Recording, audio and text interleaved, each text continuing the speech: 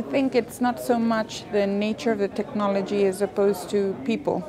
And uh, technology is neutral. And so basically, the design, whether it's cryptocurrency or whether it's blockchain technology, tagging fishes or, or tagging agricultural commodities, uh, if the end point is to serve and uh, serve people and you know uh, serve an end goal, then that in, in itself would be sustainable.